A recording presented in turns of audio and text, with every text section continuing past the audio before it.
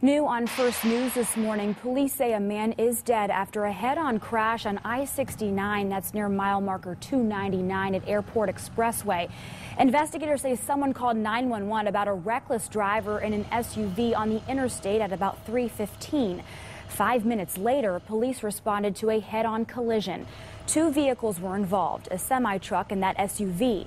The semi ended up in the ditch and the white SUV sitting on the road was severely damaged. The Allen County Sheriff's Department says the SUV driver was killed in the crash.